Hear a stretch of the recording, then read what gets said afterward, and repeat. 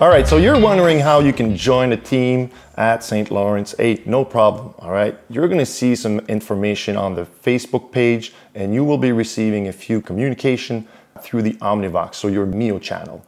Um, very easy. There's going to be a registration form, electronic registration form. You're going to leave us your uh, student number, and we'll just make sure that you find the opportunity and you get the information specific to the sport in which you want to register in. So, very simple action, electronic form, follow the Facebook page, and you'll be ready to jump in the gym or jump on the court to practice with your favorite team.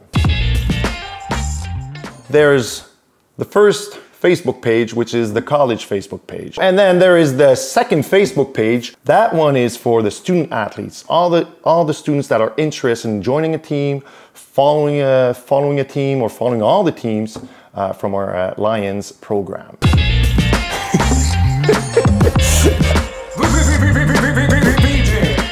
I'm out.